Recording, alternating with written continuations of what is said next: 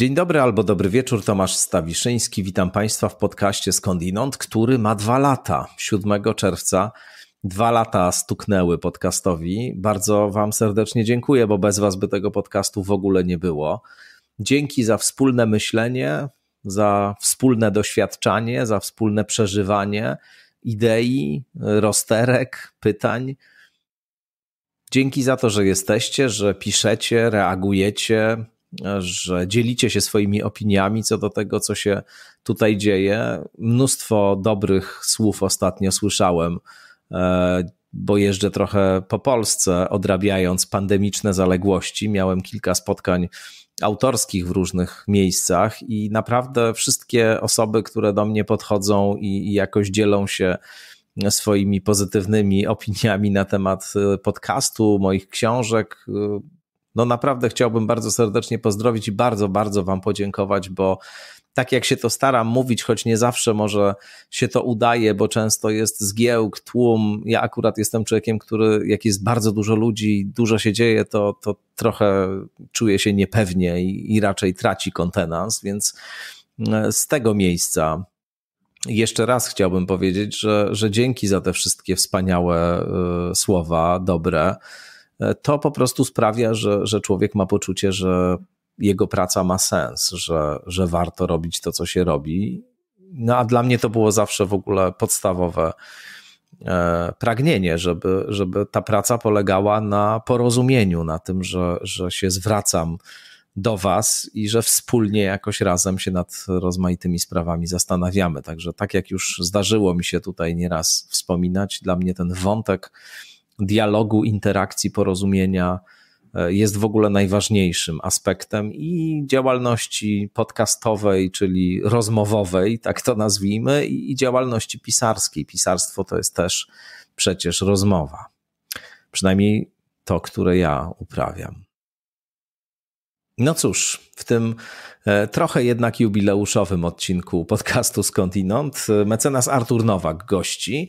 E, tym razem w roli nietypowej, bo Artur Nowak się zajmował dotąd kościołem głównie i w tych kościelnych kwestiach jako prawnika reprezentującego ofiary przestępców seksualnych pracujących w kościele go znaliśmy.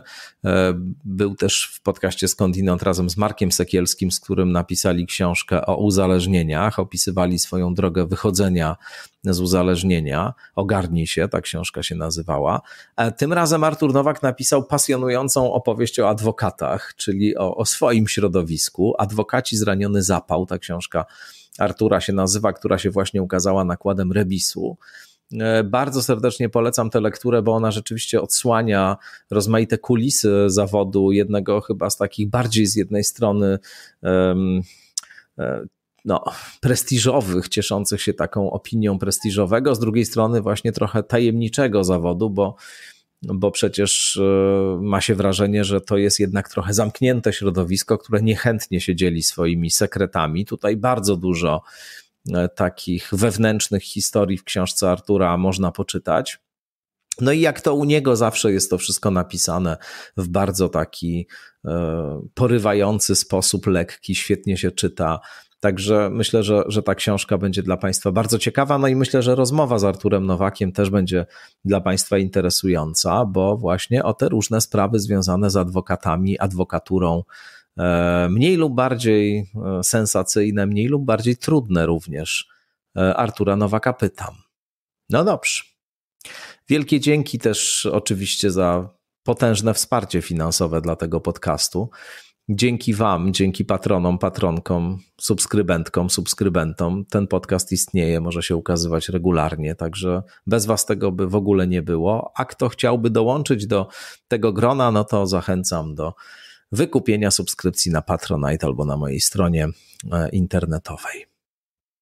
No dobrze, mecenas Artur Nowak przed Wami.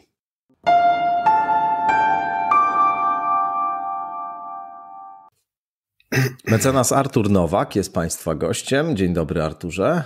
Witaj, Tomku, witam Państwa.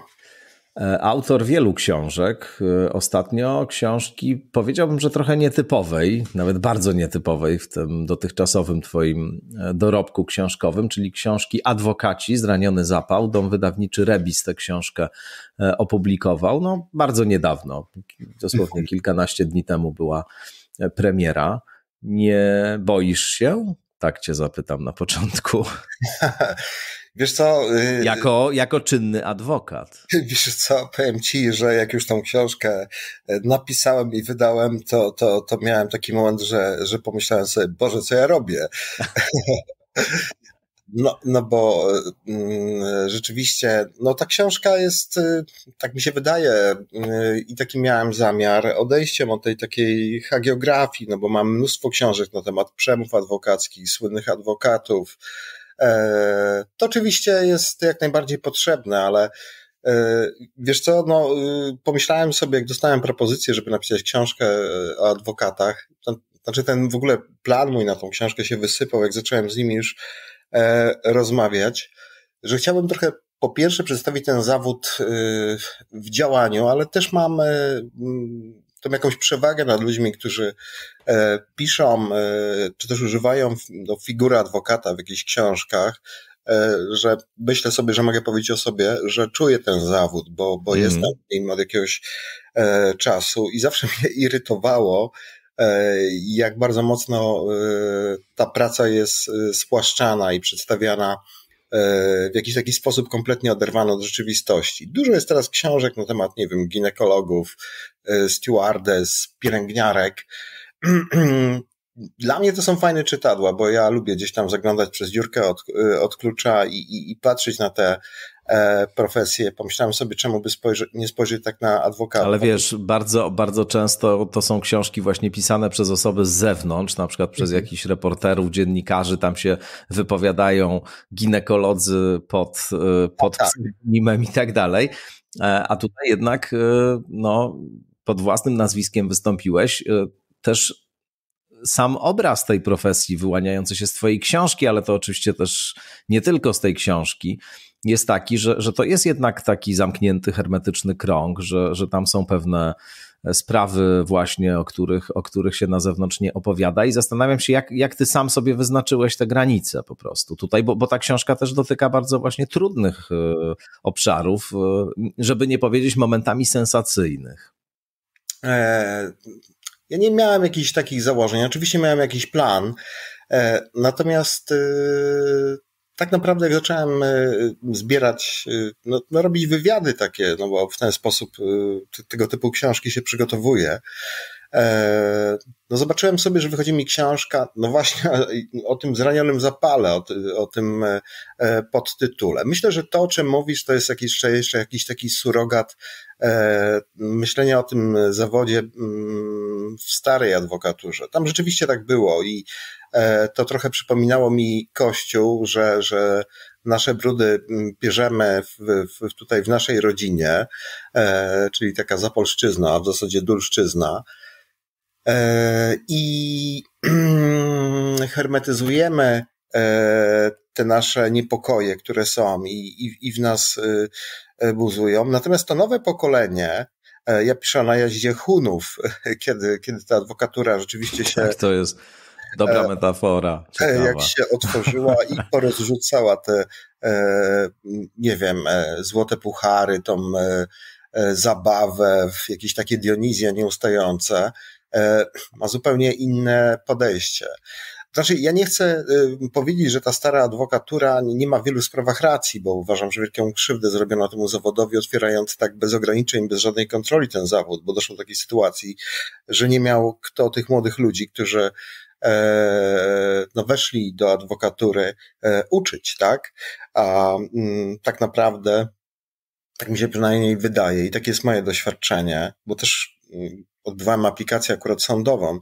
Myślę sobie, że przez tych, bez tych y, mentorów, y, patronów, którzy, którzy nas kształtowali, e, no, absolutnie nie mielibyśmy mm, takiego backgroundu, znaczy takiego jakiegoś doświadczenia, takiej możliwości E, uprawiania tego e, zawodu, ale ta adwokatura mm, rzeczywiście się w tej chwili zmieniła. Ona jest bardziej otwarta, bardziej znormalizowana. To znaczy, myślę sobie, że ten nimb, który ją otaczał przez dziesiątki lat, absolutnie mm, w tej chwili jest jakimś takim mitem. To są normalni ludzie, którzy chodzą, nie wiem, do e, psychologów, tak, którzy sobie nie radzą. Myślę, że o tym jeszcze powiemy, bo to jest w ogóle, e, wydaje mi się, jakiś temat wiodący w tej książce mojej. E, to są ludzie, którzy opowiadają o tym, że w tym zawodzie no, trzeba się jakoś yy, bić o tego klienta. No bo tak naprawdę zrobił się w tej chwili rynek klienta już, a, a nie adwokata, ale e, przede wszystkim myślę sobie, że i to jest dla mnie jakimś dowodem e, tego, że, że absolutnie e, ta książka w jakiś sposób nie jest absolutnie, nie narusza jakoś, nie wiem, jakiejś godności tego zawodu, czy, czy tego mitu. Absolutnie. O którym mówię, e, to jest to, że mm, no, na potrzeby tej książki wypowiadało, wypowiedziało się w, w, w, tym, w toku tego przygotowywania tego materiału no, kilkudziesięciu adwokatów, w tym naprawdę adwokaci, którzy są e, no, bardzo wysoko postawieni e, we władzach e, samorządu. Oni mnie trochę znają i wiedzieli, że no, ja nie, nie będę robił książkę o tym, że tam adwokatura zbawiła świat, bo takich książek jest... to by było dobre. No ale takich książek jest już jest, jest, jest mnóstwo. I, i, i, I myślę sobie, że absolutnie takiego zarzutu nie ma. Wiesz, wczoraj wracałem z Warszawy, jechałem taksówką e, na, e, na dworzec i zadzwonił do mnie jeden z kolegów, który, który był z moim rozmówcą. On ma e, niespełna 40 lat. To jest w ogóle dla mnie data graniczna w, w tym zawodzie. Myślę sobie, że nie tylko w tym, bo to jest 40, zupełnie, tak? Tak, myślę 40-45, mm. bo to jest zupełnie inne spojrzenie na, na, na, na, na, sens swojego aktywnego funkcjonowania. E, ja mam 43 lata w tym roku, skończyłem i potwierdzam, że to jest taki czas, kiedy się dużo zmienia. Tak. No tak, no bo to jest tak, ja piszę o takiej metaforze choroby południa, to znaczy o tym, kiedy e, tak naprawdę, bo to się wzięło z Wargiusza e, z Pontu, który e, no, był takim e, ojcem kościoła i który mówił o tym, że dla duchownych, dla księży, tego do dzisiaj się naucza w seminarium, takim największym kryzysem jest właśnie ten kryzys tych 40-45 lat, kiedy ty jesteś wypalony, zastanawiasz się nad sensem e, po prostu tego, tego co robisz, czy, czy, czy, czy, czy, czy, czy to jest sprawcze, ale przede wszystkim, czy, czy ci daje to radość, nie? ja też chyba przechodzę taki okres, czy tam wszedłem weń e, jakiś czas już temu, kiedy zacząłem się zastanawiać, na ile moje funkcjonowanie, to znaczy no, zarabianie od pierwszego do pierwszego, żeby płacić, y, nie wiem, te wszystkie rachunki, a proszę mi wierzyć, że one nie są małe, kancelaria, aplikanci i tak dalej. E, nie wiem, e, jakiś sobie dołożysz do tego jakiś kredyt, leasing i tak dalej, czy to jest to, co ja chciałbym do końca życia robić, ile mi potrzeba do życia w tym wymiarze materialnym. I druga kwestia, czy to mi daje y, satysfakcję, czy, czy ja ten smak tej satysfakcji, czy jakiejś radości z tego, co robię, y, potrafię sobie, potrafię przeżyć, o, przeżyć właśnie, bo wydaje mi się, że y, no taką esencją życia, ja nie chcę wchodzić w jakąś tak tutaj wielką filozofię, jest to, żeby w danym momencie, nie oczekując na to, co się zdarzy za rok, za miesiąc, nie patrząc linearnie na tą drogę, na tym szlaku, gdzie zdobywasz kolejne szczyty, e, potrafisz odczuć no radość, tak, z istnienia, nie odkładasz sobie e, tego, a ten zawód ma taką pokusę, myślę, wracam tutaj do adwokatów, że no można wejść w pewien taki tryb myślenia, że e, zapieprzasz jak ten chomik w kołowrotku i nie masz absolutnie czasu na taką E, refleksję i na poczucie, no, odczucie tego smaku, tak, znalezienia w sobie jakiegoś takiego spokoju. I absolutnie muszę powiedzieć, że mm, mm, tak jak rozmawiałem z moimi koleżankami, kolegami, kolegami chyba zwłaszcza, bo perspektywa kobiet często jest inna. Ona jest związana jednak z takim przywiązaniem większym do domu. Ona jest tak naprawdę dla mnie głową E, rodzinę, e, ale to już jest inny temat, ale wracam do tej perspektywy, ona jest inna, u osób, które mm, no jeszcze są na tej drodze i jak ten koń z tymi klapkami na oczach pędzą galopem. No ale jest pytanie, ile ty możesz no, w tym galopie po prostu przebiec i jak już się zatrzymasz, E, e, znaleźć w tym życiu, które szybko mija, jak, jak z bicza strzelił, tak? Jakąś właśnie e, no taką radość, o tym mówię. Podaję wiele przykładów zresztą osób, które dochodzą do takiej refleksji. Ty tutaj wspomniałeś Ewagriusza z Pontu. Piszesz też o nim w jednym z rozdziałów przy okazji wypalenia, depresji. Ewagriusz z Pontu sporo czasu, znaczy miejsca, ale i czasu w rozmyślaniach, a miejsca w swojej twórczości poświęcił Acedi, która się tutaj e, pojawia i to jest właśnie coś takiego, co w zasadzie spełnia, e, mówię o, o Acedi wedle Ewagriusza, kryteria zaburzenia depresyjnego w DSM-ie aktualnym i ICD, bo to jest taka mieszanina smutku, ale też anhedonii, właśnie bezwładu, poczucia bezsensu. Demon południa to, to wywołuje, a to dlatego, że mnisi bardzo wcześnie wstawali, posiłek jedli tylko raz dziennie, gdzieś tam w okolicach 15, w związku z czym południe było takim momentem krytycznym, bo też na pustyni egipskiej, bo to wszystko ojcowie pustyni, E, było strasznie gorąco w południe właśnie, więc to był rzeczywiście taki moment absolutnie kryzysowy. E, I, e, I tutaj nawet benedyktyńskie odosobnienia się pojawiają. Ty sam piszesz o tym, że jeździłeś tak, na takie tak, tak, tak, odosobnienia, żeby coś jakoś do, do, do ładu się doprowadzić. No tak, ja próbowałem kilku, miałem kilka takich prób mm, jakiegoś takiego hmm, wyhamowania Oj, byłem nawet na jezuickich e, rekolekcjach. E, to są ćwiczenia te ignacjańskie. Mm, co jest ciekawe, bo, bo, bo znany jestem jako osoba, która jest bardzo antyklerykalna. Natomiast uważam, że Tyniec jest pięknym no, miejscem. Antyklerykalizm może wynikać z potrzeby tak. autentycznej duchowości po prostu, który, której w kościele tak, tak, jest coraz mniej. Oczywiście ja mówię o takim powierzchownym wrażeniu, natomiast yy, uważam, że Tyniec jest pięknym miejscem. Ja się zaprzyjaźniłem z opatem. To jest naj, chyba najmłodszy w tej chwili opat yy, benedyktynów, yy, który, który, który, no, no, który był w Polsce, tak? To jest ojciec Szymon Hirzyński. On zresztą yy, popularyzował w trakcie takiego pobytu Wargiusza.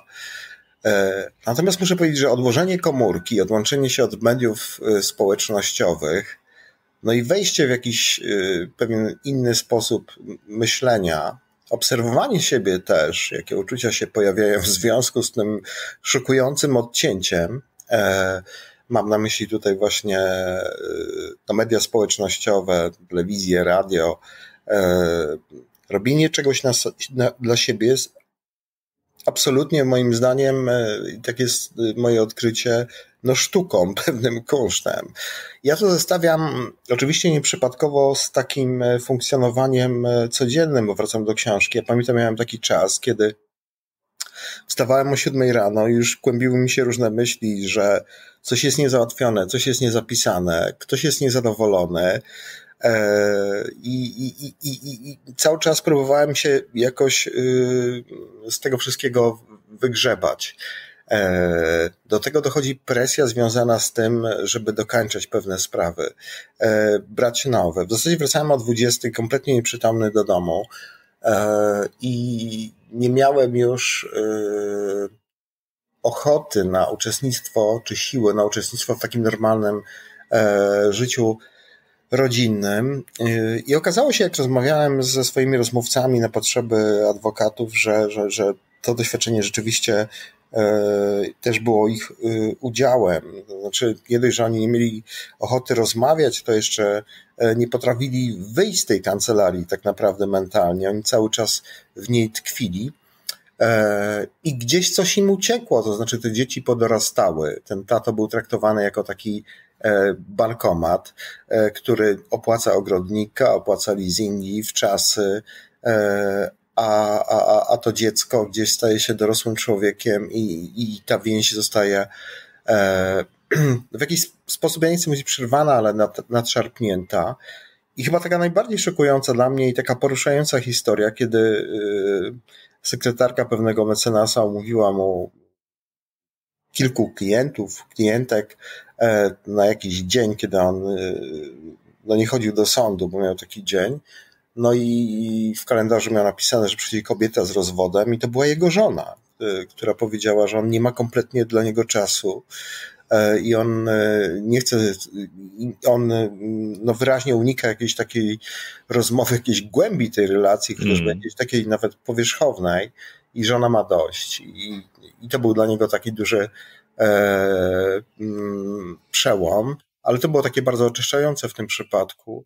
Ale o czym mówię? O tym mówię, że mm, no dano nam pewną możliwość, myślę tutaj o naszej profesji, e, takiego mm, funkcjonowania w trochę innej rzeczywistości, bo e, z jednej strony to jest kwestia mm, bycia depozytariuszem e, w jakimś sensie czyjegoś losu, tak? Bo to są często mm, bardzo trudne sytuacje, które, w których finale może się skończyć pewna sytuacja kształtowana przez lata klienta w wymiarze jakimś finansowym, on może utracić e, wolność. W to wszystko wchodzą duże pieniądze. Pieniądze, zresztą pieniądze, które zarabiają adwokaci, to, to, to, to czego się dowiedziałem, a przecież funkcjonuję w, tej, w, tej, w, tej, w, tej, w tym zawodzie od jakiegoś dłuższego czasu, przeszło moje najśmieszniejsze, e, najśmielsze E, wyobrażenie, no to powoduje, że można się troszeczkę oderwać e, od rzeczywistości absolutnie. Ten zawód daje dużo takiej, nie chcę mówić władzy, bo władza to, to, to chyba nie, ale e, jakiegoś te, takiego, takiego wybraństwa, o, w ten sposób. No i bardzo ważne jest w tym wszystkim, wracam do jakiejś myśli, który, w których chciałbym zebrać te swoje nieskładne zdania, jest to, żeby nie stać się adwokatem swojej próżności właśnie, nie? żeby mieć uwagę dla tego klienta, e, żeby się nie przyzwyczaić, że ja tylko takimi sprawami się zajmuję i, i, i to jest jakiś kawałek mojej pracy, które muszę odrobić, tylko żeby cały czas e, no, pokazywać temu człowiekowi, że jest ktoś przy nim, bo z tego powodu on się wybrał do adwokata, e, kto absolutnie e, no, trzyma jakiś kurs, on wie, co ma robić po prostu, on jest w kontakcie z nim. Zwróć Tomku uwagę, że mm, adwokatów, e, lekarzy, nikt naprawdę nie uczy relacyjności. To znaczy, my jesteśmy kompletnymi. O tym, o tym właśnie dokładnie teraz myślałem, jak, jak mówiłeś, że przecież to jest praca, która wymaga ogromnych kompetencji psychologicznych nie tylko dlatego, że klient tego potrzebuje, no bo przychodzi do adwokata trochę też jak do terapeuty, bo często Drabina. bardzo. Tak. Tak, często jakieś niezwykle silne emocje się wyzwalają w tych sprawach, których w których potrzeba adwokata. Często to są kwestie niezwykle trudne, związane z jakimiś meandrami życia osobistego, dramatami, ludzkimi tragediami, więc tego jest mnóstwo. Nawet jeśli to są jakieś sprawy, nie wiem, gospodarcze, stricte, to przecież tam gdzieś na końcu też jest człowiek, który na przykład właśnie stoi na, na granicy bankructwa albo, albo za chwilę może doby, dobytek życia cały, dorobek stracić. Mhm. To, to, to na pewno jest praca, która wymaga takich kompetencji. Z drugiej strony, te kompetencje są potrzebne po prostu samym i lekarzom, i, i adwokatom po to, żeby, żeby ten ciężar jakoś unieść, żeby sobie móc poradzić w tych, w tych trudnych sytuacjach. Jakiś rodzaj takiej higieny emocjonalnej, umiejętności e, patrzenia na to wszystko z odpowiedniego dystansu, przyjmowania odpowiedniej pozycji, właśnie nie, nie brania tego wszystkiego na siebie, no, to są, to są rzeczy, które są absolutnie niezbędne, a, a tego nikt nie uczy i, i niestety płacicie y, za to cenę po prostu często ogromnie. Płacimy, płacimy u terapeutów. płacimy no właśnie. U terapeutów. To znaczy, y, wiesz co, no absolutnie uważam, że to jest jakaś taka kluczowa moja obserwacja. E, no bo mamy czasami wyrobioną sobie mm, mówi się o gębie, tak, że wejdę w, w, w, w tą nomenklaturę Gombrowicza e, jakiegoś zawodu i, ja często się spotykam z tym, że lekarze na przykład bywają opryskliwi, no nie mają czasu. Znaczy ja nie chcę ogólniać, w ogóle no, tak chciałbym uczynić takie założenie, tak, natomiast y, i może i czynić po prostu jakieś zasady, żeby kogoś tam nie urazić, tak? E, no bo nie ma czasu, gdzieś potrafi e, tego pacjenta jakoś tak mm, no brzydko potraktować. No myślę, że nie jest nadużyciem, jeśli powiem, że wielu z nas się spotkało z taką sytuacją, albo przynajmniej zasłyszało ją. E, I rzeczywiście tak jest, że wracam tutaj do naszego zawodu, jest też tak, że no, trzeba sobie uświadomić, że nie przychodzą do nas ludzie, którzy chcą nie wiem, jakoś upiększyć swoje życie, którzy chcą e, jakoś sobie przyjemnie porozmawiać e, o życiu, tak jak my sobie teraz e, rozmawiamy. Tylko to są ludzie, którzy przychodzą, bo prokuratura wystąpiła z wnioskiem o areszt ich syna, tak? Bo zostali w sposób jakiś ordynarny oszukani, bo bo stała im się krzywda jakaś, tak? Oczywiście też są ludzie pokrzywdzeni, czy tam przychodzą, ale to jest naprawdę rzadkość w tej chwili, którzy, którzy mają jakąś prostą sprawę z uśmiechem na twarzy, e, tę kwestię, e, kwestię regulujemy. Przede wszystkim jest to jednak e, działanie na takich wysokich emocjach. Ja mam taką teorię, że te emocje jakoś rezonują i trzeba naprawdę no, mieć jakieś takie narzędzia i chyba o tym mówiłeś y, właśnie mm, w ramach tej refleksji na temat tego, na, czy, czy my te narzędzia mamy i czy jesteśmy do tego przygotowani, e, żeby sobie z tym poradzić. Bo masz rację oczywiście, Tomku, kiedy mówisz, że to nie jest y, ta, ta umiejętność do bycia w relacji, te relacje, te umiejętności interpersonalne, no one mają nie służyć tylko klientom, ale też y, no, profesjonalistom, tak, adwokatom, e, żeby oni potrafili y, po prostu no, trzymać, trzymać y, nawozy je, to znaczy mam na myśli oczywiście wracam do tych emocji i,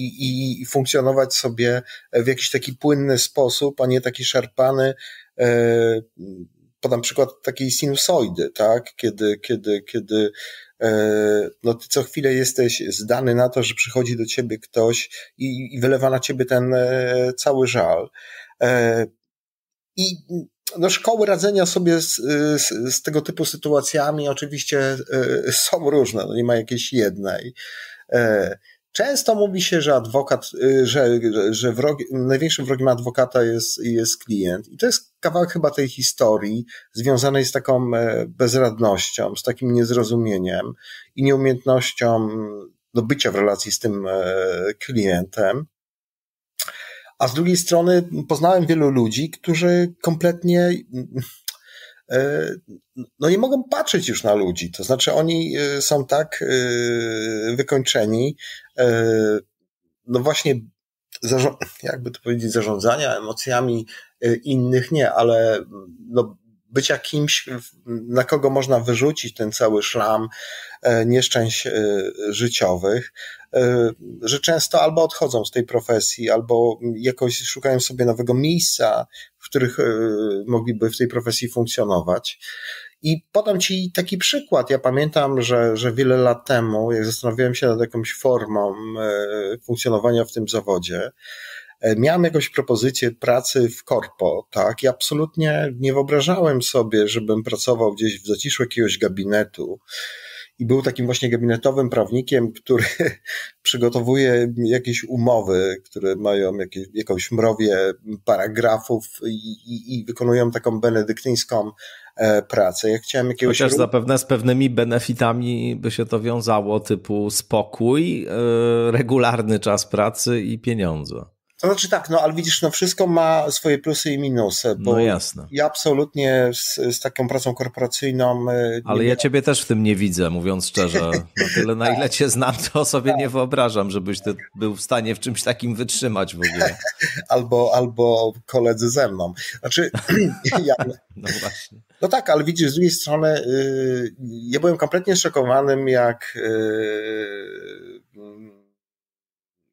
przygotowywałem taki rozdział, rozdział dotyczący wynagrodzeń adwokatów. Znaczy, ja spotkałem się z, z kolegami, którzy pracują w tego typu no, domach adwokackich, bo one zatrudniają po kilkudziesięciu, czasem po kilkuset prawników, często to są podmioty międzynarodowe. E, I z jednej strony rzeczywiście stawki są olbrzymie, tak, e, godzinowe, które pobierają tego typu kancelarie za, za swoją pracę. Jak ja usłyszałem, że, że za godzinę to potrafi być nawet tysiąc euro, tak, niezależnie od tego, ilu adwokatów. Dobra stawka. Przy danym, tak, tak, projekcie e, pracuję, byłem w kompletnym szoku, ale z drugiej strony usłyszałem, e, jak ta mm, praca jest ciężka. To znaczy, to nie jest praca oczywiście w takiej batalii sądowej klasycznej. E, natomiast e, no trzeba dowieść jakiś temat do końca, przygotować, nie wiem, jakąś umowę, fuzję, zakup jakiejś nieruchomości. Oczywiście zależy, to wszystko zależy od tego, mm, co ty robisz w tym korpo, czy jesteś, nie wiem, partnerem, bo z nimi też rozmawiałem i oni opowiadali E, meandrach swojej pracy, czy jesteś gdzieś na dole, no i ciśnie cię ktoś na górze, żebyś e, po prostu e, pracował więcej, szybciej.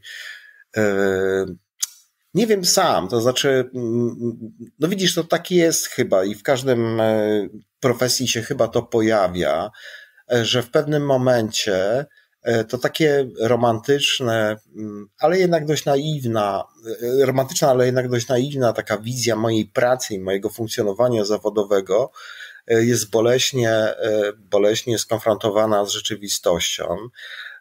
I, no i właśnie, i wtedy przychodzi taka refleksja, czy to jest to, co ja chcę robić. W tym, w tym zawodzie to się miesza też z, już pomijając jakieś takie mm, warunki, o których tutaj mówię, to znaczy jak, jak, jak się funkcjonuje w danym miejscu w, w tym zawodzie, dochodzi też ta sytuacja, którą mamy w kraju, ale ona nie jest nowa, bo uczymy się pewnych ideałów, uczymy się e, pewnych zasad konstytucyjnych e, i to wykuwa w nas jakiś taki obraz tej, e, tego, jak, ten, jak, jak ja sobie będę tam funkcjonował, że są jakieś zasady, e, które obowiązują. E, no a potem się okazuje, że no nie wiem, e, zaczynasz pracować w sądzie, e, bierzesz akta i mówisz, no ten człowiek jest niewinny, ja tu nie, nie, nie, nie, nie widzę żadnych dowodów i słyszysz od kolegi, no to daj mu zawiasy, tak. Więc, mm, więc to też jest, wydaje mi się, czymś, co może dość mocno rozczarowywać. E, i mm, no, powodować, że, że, że ta sprawczość y, tej pracy, tej misji, e, realnego wpływu na życie innych, e, no, no właśnie, no właśnie to, to, to, to mm, może nie pryska jak bańka, natomiast jest bardzo mocno przez życie weryfikowane.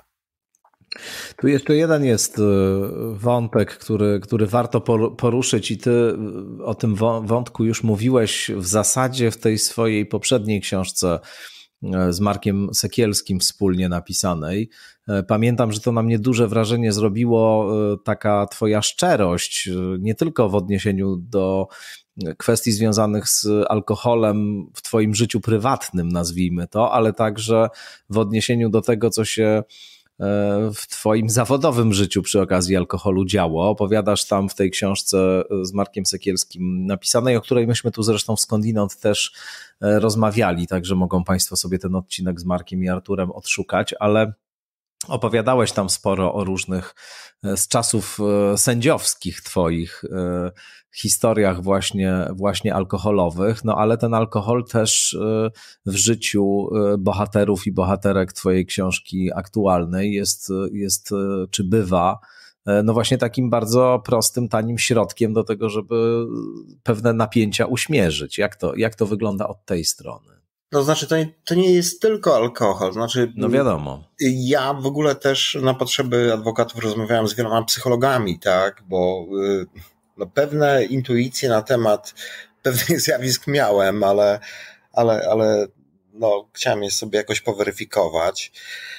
To jest jakaś chyba ucieczka przed emocjami yy, i o ile w Ogarnij się, w tej książce, którą my zrobiliśmy z Markiem, napisaliśmy z Markiem, to jest taka rozmowa między nami, e, y, nastawialiśmy taką tezę, że mm, alkohol czy w ogóle używki są sposobem e, na radzenie sobie z czymś, y, co ma jakąś taką proweniencję dalszą, związaną z dzieciństwem, no z emocją, krótko mówiąc, tak, która, która w jakiś demokratyczny, uniwersalny sposób dotyka alkoholików, to w adwokatach mm, zobaczyłem, że często właśnie jest tak, że mm, jak człowiek, że kiedy człowiek dostanie dużo takiej, takiej jak gdyby, mm, może nie tyle co władzy, ale takiej, y, tak stworzone zostaną wokół niego takie warunki związane e, z pewnym dobrobytem, nazwijmy to, mam na myśli, e, z jednej strony w takim wymiarze materialnym, a z drugiej strony w takim wymiarze, wymiarze mm, związanym z budowaniem pewnego autorytetu. Nie każdy potrafi sobie z tym e, e, poradzić. To znaczy, znaczy otwiera się taka możliwość, czy też takie zagrożenie, e, żeby no nie popłynąć, tak? I rzeczywiście spotkałem takie osoby, które uczciwie o tym mówią, że Mm, no popłynęły i to bardzo jakoś tak szeroko. I to jest y, jeden taki przyczynek do, do, do właśnie, myślę sobie, do tych wszystkich e, otwarcia się na używki, które, które gdzieś tam e, e, no są, tak. Cała, ca, ca, cała, cała e, paleta. E, I i myślę sobie, że jest to jakaś, y, jest jakiś sposób odcięcia się od emocji, bo nagle dostali, dostali zbyt dużo i, i zwariowali. Drugi taki typ, który zobaczyłem, ja oczywiście nie roszczę sobie pretensji do tego, żeby jakoś to systematyzować, bo to ja nie jestem od tego, e, to jest rzeczywiście taka, mm, jak gdyby, kompensacja takiej wewnętrznej pustki, tak? Tak myślę sobie. Ja mm, wspominam kolegę mecenasa, który gdzieś tam robił zakupy w Zelando, codziennie przychodziły jakieś yy, po kilka paczek z jakimiś ubraniami. On to wszystko sobie gdzieś chował yy, i często tych ubrań nie przymierzał. Najbardziej kręciła go ta sytuacja, kiedy e, przychodził ten kurier e, z jakimiś, nie wiem, spodniami, garniturem, z garniturami czy, czy, czy z jakąś inną e, odzieżą. To mnie zaciekawiło. I oczywiście może ktoś sobie powiedzieć, że w tej książce jest taka historia i jakoś się z tego śmiać, ale próbowałem z nim sobie jakoś tak e, po prostu porozmawiać.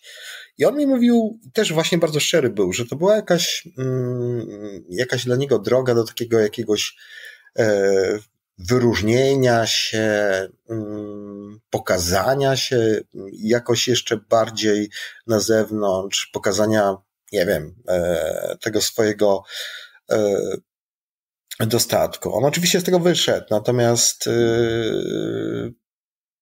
właśnie się tak zastanawiałem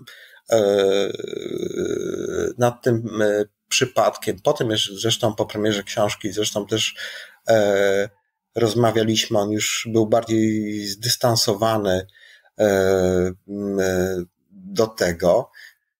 Ja nie wiem, wiesz Tomku, no dla mnie to jest takie jakieś odcinanie się od emocji, szukanie jakichś innych e, emocji. Zresztą zwróć uwagę, że e, no jest taki obraz e, teraz takiego młodego, znaczy młodego mężczyzny, mężczyzny w średnim wieku często, który gdzieś ucieka przed tymi emocjami w jakimś takim ekstremum, w sportach ekstremalnych. To są często bardzo jakieś takie niebezpieczne hobby, no jakaś, nie wiem, jazda w górach, na rowerze, jakieś ciężkie maratony. Ultramaratony co tak, tydzień. Tak, I żeby była jasność, ja nie chcę absolutnie tego jakoś dezawuować, bo ja też od pewnego czasu e, zauważyłem, znaczy dla mnie to było, myślę, że, że bieganie jakoś uratowało mi życie, bo ja biegam codziennie, dzisiaj też wstałem wcześniej i pobiegałem, chociaż rozmawiamy rano, e, dlatego, że mm,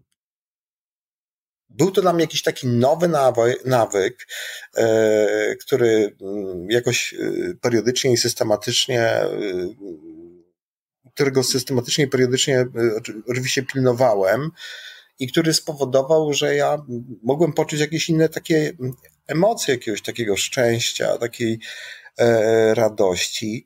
I jestem w stanie, i do dziś zresztą biegam. I mówię, uratował mi życie, bo mm, ja zacząłem biegać, jak, jak, jak no podjąłem decyzję o zaprzestaniu używania środków psychoaktywnych i, i, i alkoholu.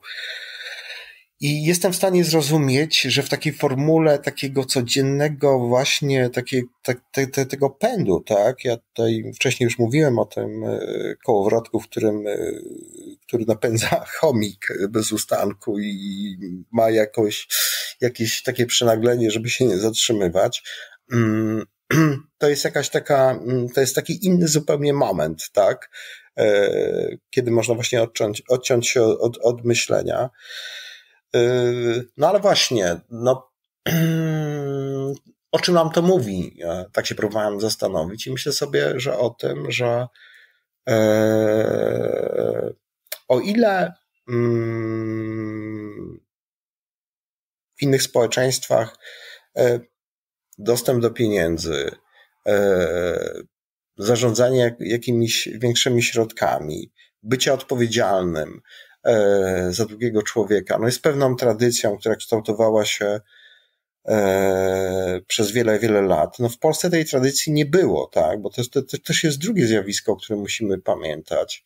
I często dla młodego człowieka, e, który był wychowany w takim kolektywnym społeczeństwie, takim z, no, homogenicznym, nie?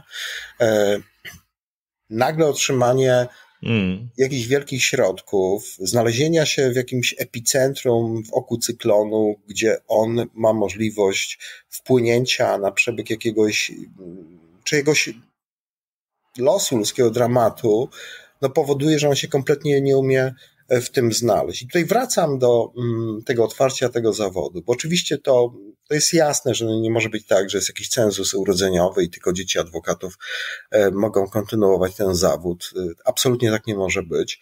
Ale z drugiej strony spotykałem się z takimi uwagami, w których myślę, że jest kawałek prawdy, że jednak jak ktoś miał możliwość podpatrywania pracy swojego ojca, swojej matki, często też dziadka, tak, e, to pewnych umiejętności, e, to, to, to nabył pewne umiejętności i, i ma jakieś spojrzenie e, inne i ono jest na pewno bogatsze e, niż człowieka, który w tą sytuację dopiero wchodzi. Absolutnie myślę sobie, że jest bardzo ważną rzeczą po prostu jakieś takie, nie wiem, trzymanie, trzymanie, trzymanie się jakiejś poręczy po prostu w, w, w tym zawodzie. To znaczy, że ty wiesz po prostu, jakie są, znaczy zagrożenia to, to, to jest jakiś taki banał, ale jak sobie radzić e, w różnych sytuacjach, że masz gdzieś wdrukowane najlepiej jakieś e, sposoby radzenia sobie z pewnymi e, no, kryzysami tymi małymi, związanymi z, z, z jakimś, nie wiem, emocjonalnym klientem, e, umiejętności radzenia sobie z porażką, która, która, która, która przychodzi. E, myślę, że dla człowieka, który wchodzi w ten zawód i, i, i nie ma takiego backgroundu, e, no to jest bardzo trudne i myślę, że to, o co pytasz, czyli ucieczkę w alkohol, w narkotyki, to jest taki klasyczny przykład po prostu radzenia sobie w cudzysłowie oczywiście z tym, z tą, z tą mm, nieumiejętnością. I to jest, mówię, ten drugi typ, bo ten pierwszy to chyba jest taki, że ktoś nagle zbyt dużo dostaje i dostaje takiego małpiego rozumu i chce od tego życia więcej i więcej, jak już nie można wycisnąć z niego e, w takim normalnym funkcjonowaniu, no to szuka jeszcze jakiegoś odmiennych stanów świadomości. Jest jeszcze jeden taki stereotyp e, związany z e, adwokaturą, a mm, wydaje mi się, że on się też e, może łączyć z tym, o czym rozmawiamy w jakiś sposób specyficzny. Myślę o takim widzeniu adwokata jako kogoś, kto działa poza dobrem i złem, to znaczy jako kogoś, kto kto jest w jakimś sensie amoralny, dlatego że y, może za dobre wyposażenie finansowe reprezentować na przykład osoby, które uznawane są powszechnie za albo przestępców, albo, albo ludzi, którzy naruszają jakiś moralny konsensus. Oczywiście na poziomie takiej filozofii, która stoi za systemem prawa zachodnim, no to, to jest oczywiste, że na tym właśnie cała e, koncepcja cywilizacji opartej na prawie polega, że każdy ma e, pewne przysługujące mu prawa i każdy e, może się bronić, i to jest właśnie zawód, który temu służy. Natomiast w takim powszechnym odbiorze to często jednak adwokaci reprezentujący osoby postrzegane jako jako czarne postacie życia publicznego, no w jakimś sensie bywają oceniani przez pryzmat tych osób, które, e, które reprezentują. E, mhm. Jak, jak myślisz w ogóle o, tej, o, o tym aspekcie pracy adwokata i, i może trochę byłbym ciekaw, jak to u ciebie też wyglądało. To znaczy, czy mhm. ty się sam stykałeś z takimi sytuacjami, w których na przykład musiałeś sobie zadawać pytanie, czy ty w ogóle chcesz kogoś takiego reprezentować, czy bronić, i czy miałeś momenty, kiedy stwierdzałeś, nie, no, przepraszam, ja, ja nie będę. Znaczy, ja myślę, że w, w, takie pytania, które, które, które padają, są jednak związane z takim dziedzictwem komunizmu trochę u nas. E, oczywiście, między innymi. Tak, między innymi, bo rzeczywiście to, o czym ty mówisz, e, mówiłeś, e, no, zagajając to pytanie, no to sprawa wydaje się dość jasna. To znaczy, ona się nie wydaje, dla mnie jest jasna. To znaczy, każdy ma prawo e, do obrony i nie odwołuje się tutaj do systemu moralnego, tylko do systemu prawnego, który jednak w jakimś e, swoim wymiarze no, czerpie tak, e, z tej moralności. No, jakimś, wydaje mi się, że aksjologia prawna jest zbudowana właśnie na, na, na na moralności. Nikogo nie można pozostawić bez, e, bez obrony i ja takiego dylematu e, absolutnie nie mam. No może w związku ze specyfiką swojego zaangażowania w kwestie związane z pedofilią, bo mnóstwo spraw tego typu prowadzę, a zajmuję się przede wszystkim pedofilią w przestrzeni kościoła katolickiego. Ale ty reprezentujesz ofiary generalnie. Ofiary, tak. Jest mi bardzo trudno reprezentować sprawców, a, aczkolwiek bywało i, gdzieś tam e, czasem się tak e, e, zdarza. Oj, myślę sobie, że ja mm, podaję taki cytat jako takie motto tej książki z, z, z książki Leidermana, Adwokat Diabła, że gdy w grę wchodzi prawo, sumienie to jedynie zbędny balast. Ono jest oczywiście takie bardzo pokrętne. Myślę sobie, że yy, czyniąc takie założenia, o których mówiłem, czyli to, że każdemu mm, należy się prawo do obrony i że yy, ta teza yy, jest związana z jakimś namysłem jednak, nie wiem, filozoficznym chyba, tak? Między innymi nad, nad systemem prawnym, w którym dane społeczeństwa i grupy funkcjonują, E, rzeczywiście takie dylematy są balastem. E, ale, żeby była też jasność, to e, nie oznacza, że konkretni ludzie, którzy podejmują się tych, tego typu spraw, tych dylematów nie mają, że no może nie darzą sympatią swoich klientom. No, profesjonalizm polega na tym, żeby oczywiście tego mm, nie okazywać. Ja pamiętam, jak, jak będąc jeszcze takim człowiekiem z zewnątrz, byłem na aplikacji sądowej i, i przez długi czas zajmowałem się protokołowaniem e, przebiegu różnych rozpraw. E, pamiętam, no miałem taki obraz adwokatów, którzy są takimi usłużnymi e, lizusami wobec sędziów, kłaniają im się nisko, stoją na straży ich pochwał i tak dalej. E, ale właśnie chyba to było związane z tym, że czyniłem, że czyniłem to z pewnego takiego jakiegoś założenia z zewnątrz e, tą obserwację, bo później zobaczyłem, że ta uprzejmość tak naprawdę jest e, bardzo potrzebna, ona bardzo ułatwia życie, że ważne jest, żeby odciąć się czasami od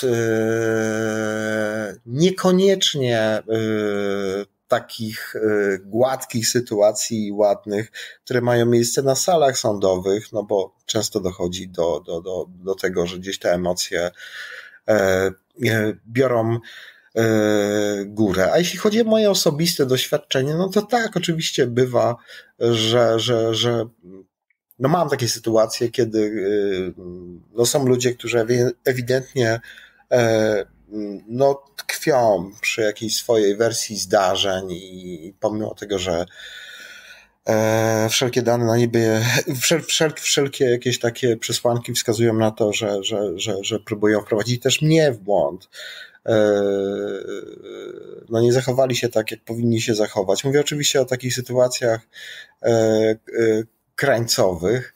I to jest dla mnie największym dramatem, że, że, że no nie potrafią być szczerzy, znaczy nie potrafią e, poszukać ze mną, zgodnie z pewnym założeniem, bo przyszli przecież poszukiwać pomocy, jakiegoś takiego rozwiązania, e, które chcę przedstawić. Ciężko się pracuje z takimi osobami, dlatego że e, myślę sobie, nie są ustawione, jak gdyby, może nie ustawione, tylko nie, nie, nie ma miejsca taka relacja modelowa, która chyba powinna mieć miejsce, że e, ktoś mi zostawia pewne rzeczy, pewną jakąś, zbudowanie pewnej strategii, tylko sam gdzieś tam chce e, robić coś, co jest niekoniecznie e, przemyślane. Ale tutaj widzisz, wracamy do, do, do, do, do, do tego tematu właśnie umiejętności bycia w relacji takiej specyficznej, związanej z, z, z, z tą profesją. No zdarza się też często i tego się nauczyłem już po latach, że, że no rozstajemy się, to znaczy no, dla mnie to kompletnie, absolutnie nie ma e, żadnego sensu. No, no i z kimś przez jakiś trudny odcinek e, jego życia, kiedy te, te drogi nasze się rozchodzą i mamy inne spojrzenie e, na, na e, daną sytuację. Są, są naprawdę bardzo czasami duże wątpliwości i, tru, i trudność związana z takim autentycznym i gorliwym bronieniem klienta z uwagi na jakiś taki wewnętrzny obraz, e, który ma adwokat na, na tą sprawę, z którą ten klient mm. przyszedł. Ja uważam, że dobrym takim rozwiązaniem jest, żeby z takim klientem e, się e, rozstać. Myślę jednak, że z biegiem czasu, kiedy no, to doświadczenie wykuwa się, bo też piszę o tym w książce, że z jednej strony z wiekiem tracimy pewne umiejętności, e, czy, czy też pewną wiedzę taką typowo prawniczą, no bo nie czarujmy się. No. Ja nie chcę też znowu ogólniać, ale w przeważającej części adwokaci, e, nie wiem, e, w określonym wieku, no nie sięgają już do przepisów, mają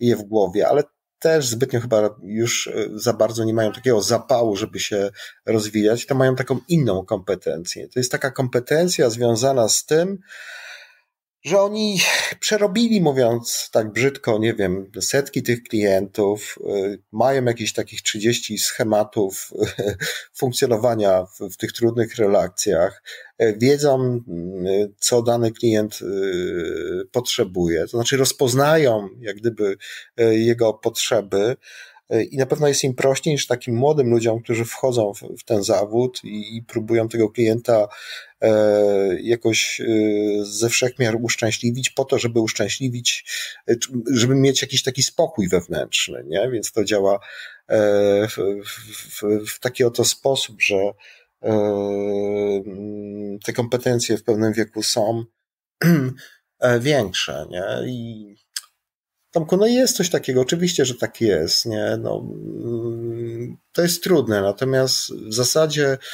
odmowa obrony y, klienta, mm, bo mi się tam nie podoba to, co on zrobił, bo to jest jakieś szczególnie odrażające, no nie jest podstawą do skutecznego zwolnienia się z obrony. A to trzeba mieć podstawę, tak? No trzeba mieć podstawę. Y, no można z ważnej przyczyny oczywiście odmówić y, obrony, natomiast absolutnie no, nie może być jakaś ocena. Czym mówisz o adwokacie z urzędu, tak? No, no mówię z adwokacie z urzędu, ale też takim zgodnie z zasadami mm. etyki naszej, nie? To, to, nie może być tak, że no, nie podobał mi się, co pan co zrobi. No, wydaje mi się, że ważna jest taka szczerość takiej relacji generalnie. Mm, no, trzeba powiedzieć może temu klientowi, bo on ma prawo wiedzieć, jeżeli rzeczywiście jest taki dylemat, co ja myślę. Nie? Odmowa obrony może nastąpić tylko z ważnej przyczyny, E, i nie może to być naganna ocena moralna sprawcy czy też czynów. Nie, nie można szkodzić klientowi, i, mm. i choćby to był jakiś największy zbrodniarz y, na świecie. Nie? I sprzeniewierzenie się zresztą e, tej zasadzie e, jest no, takim ciężkim deliktem dyscyplinarnym. I myślę sobie, że takim sposobem rozwiązania jest taka jak gdyby szczera rozmowa, nie?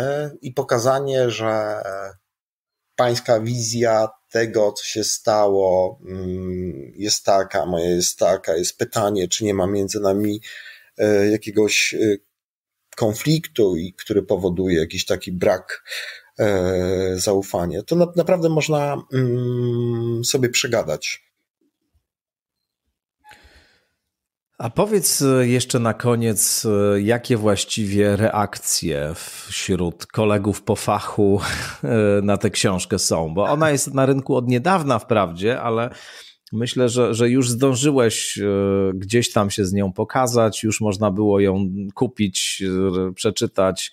Czy, czy miałeś jakieś opinie? Nie mówię o osobach, które w tej książce występują, tylko mówię o, o tak zwanym środowisku. Wiesz co, Wyborcza dała taki e, w czytelni wyborczej obszerny fragment książki tydzień przed premierą.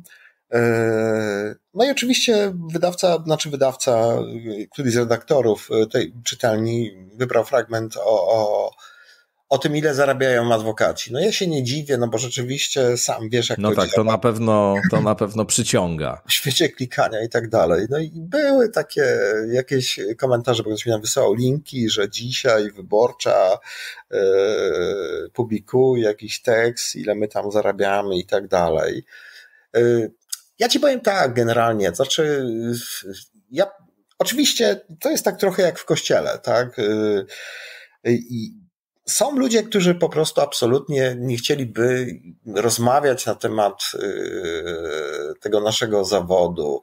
Mają jakieś takie dziwne w ogóle podejście, że myślą sobie, że, że, że przemilczenie czegoś znaczy, chodzi mi o jakieś tam e, skrywanie i jakichś ciemnych stron tego zawodu, absolutnie, tylko w ogóle rozmowa o tym zawodzie, no, o tym wypaleniu, tak, o tych absur absurdalności mm, obron z urzędu, o których przecież piszę, tak, w jaki sposób to funkcjonuje w Polsce, jak to państwo e, w jaki realny sposób e, stworzyło ten system obrony z urzędu. To jest trochę przerażające. To jest przerażające, ale tak jest. To, co tak? piszesz. Mm. No ale tak jest. E, e, żeby na, na, ten temat nie rozmawiać, ale powiem Ci szczerze, że, że absolutnie tego typu podejście kompletnie nie robi na mnie wrażenia. Bardziej mam taką dużą satysfakcję, bo ja nie spotkałem się z żadną złą reakcją, jeśli chodzi o tą książkę, jeśli chodzi o, o, o, o tą profesję. No może rzeczywiście to jest tak, że jak ktoś jest niezadowolony z tej książki, no to trudniej napisać maila, proszę pana, co pan tam napisał, e, niż napisać, słuchaj, no to jest rzeczywiście tak, jak ty mówisz. E, no, dostałem wiele takich informacji, że opowiedziałem coś, o czym, o czym wielu z nas myśli, ale jakoś albo nie mamy języka, żeby o tym opowiedzieć, albo jakiejś takiej odwagi, żeby wejść w jakąś taką dyskusję. Wiesz, jest też, y, uważam, że chciałbym, żeby ta książka spowodowała, żeby była jakaś, żeby nastąpiła, znaczy, nastąp, to jest bardzo nieskromne, co mówię oczywiście, nastąpiła jakaś refleksja nad pewnymi fundamentalnymi kwestiami, e, które są jednak pewnym problemem. Jak wygląda sytuacja kobiet w tym zawodzie? E, to jest temat na osobną dyskusję. Obrony z urzędu, które są absolutnie iluzoryczne i państwo nie stwarza żadnych e, warunków, żeby na równych prawach, z obroną z wyboru mogła być ta e, obrona realizowana. Dlaczego odsyłam do książki? No, podaję wiele przykładów po prostu absurdalności e, tego systemu. Kolejna kwestia to jest, myślę sobie, potrzeba refleksji nad przygotowywaniem pracy adwokatów, przygotowaniem do pracy osób aspirujących do tego zawodu pod względem no, nabycia pewnych podstawowych instrumentów związanymi z relacjami. Wiem, że to się ostatnio zmienia, tak, ale uważam, że to jest bardzo e, e, palący e, problem. A wreszcie, a wreszcie, a wreszcie, no, jakiejś takiej refleksji nad tym, na ile da się utrzymać jeszcze formułę funkcjonowania tego zawodu, e, nie wiem, bez reklamy na przykład, ale o tym się mówi już od, od wielu, wielu lat. Ale opinie mam bardzo dobre. Mm, takie sam jestem zaskoczony, bo odzywają się osoby, z którymi dawno nie, nie miałem kontaktu. No z całą pewnością no, ktoś sobie zada takie pytanie, po co ten Nowak napisał e, taką e, książkę, no ale no, cóż mam odpowiedzieć? No, no każdy, każdy, może sobie pisać, tak? Wiesz, i uważam, że o ile często, e, tak jak mówiłeś na początku naszej rozmowy o pilotach, piszą nie piloci, o stewardesach, nie stewardesy, o księżach, e, nie wiem, byli księża albo osoby, które, które nie wiem, nie mają na ten temat pojęcia, tylko y, zbierają te informacje, budują sobie jakiś obraz na podstawie e, rozmów, no to wartość tej książki polega na tym, e, że, że ona pokazuje jak gdyby od środka kwestie, e, na które które są warte tego, żeby im się przyglądnąć, tak? Które być może dla niektórych będą dość zaskakujące, bo E, no mamy taki obraz adwokata, który jest uśmiechnięty, wypachniony, e, ładnie ubrany i, i, i, i no, karabin maszynowy potrafi opowiadać o prawie, o paragrafach, ale to są ludzie z krwi i kości, e, którzy mają jakieś swoje, nie wiem, e, e, dylematy, że jest to mm, korporacja, która jest w jakiejś drodze y, związanej z transformacją, już nie tylko tą ustrojową, ale myślę sobie też tam jakąś mentalną. I zderzenie właśnie tych głosów młodych adwokatów e, z tą adwokaturą, e, nie chcę mówić starą, ale tą e, tradycyjną, pokazuje, że, że, że, że, że, że, że mm, percepcja tego zawodu jest inna. Więc myślę sobie, że nie, no jestem zadowolony bardzo z tej książki. Poza tym starałem się, mm, żeby ta książka absolutnie nie była ciężka, to jest inna książka. Jest wiele, myślę sobie, anegdot, które. Ach, absolutnie. Niezwykle smakowitych. Powodowało, że się trochę też przy tym wszystkim e, pośmiałem. E, I no zobaczymy, Tomku. No.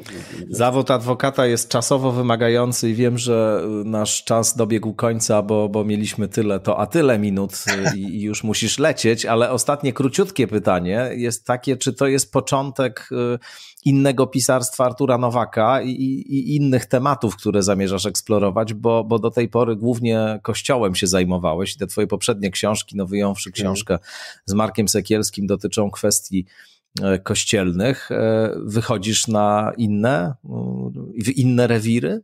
Tomku, tak. Ja mm, w ogóle jestem bardzo zadowolony z tego, że w sobie mm, odkryłem taką chęć, a później taką sprawczość, bo to jest dziewiąta już moja książka w ostatnich mm. kilku latach.